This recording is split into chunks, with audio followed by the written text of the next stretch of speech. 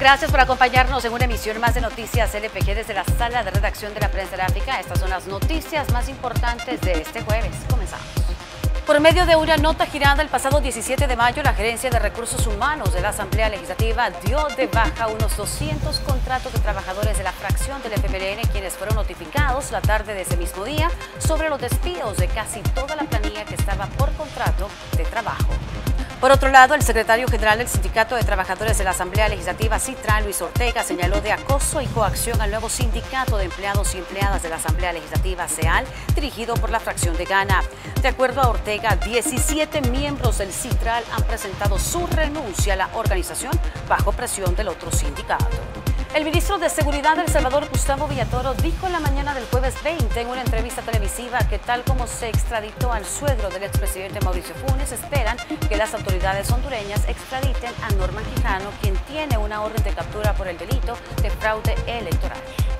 Villa Toro señaló que están esperando el oficio con la Interpol para activar la difusión roja y luego esperar a que las autoridades hondureñas cedan al político.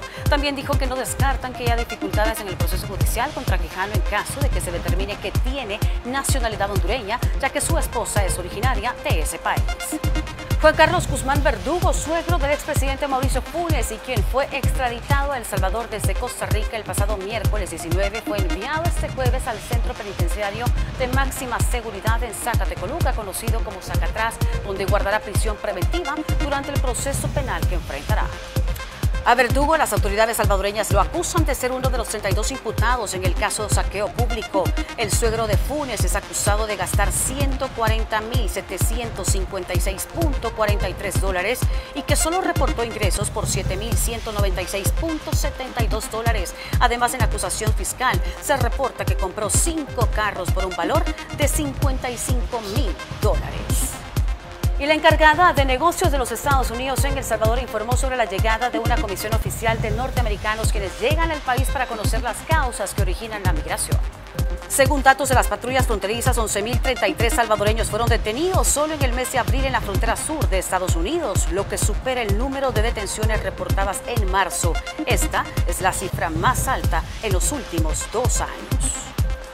Con gusto haberles acompañado en una emisión más de Noticias LPG. Recuerde que El Salvador aún continúa en la lucha contra el coronavirus, por lo que es importante que usted acate todas las recomendaciones brindadas por parte de las autoridades. Regreso mañana para compartirles más información.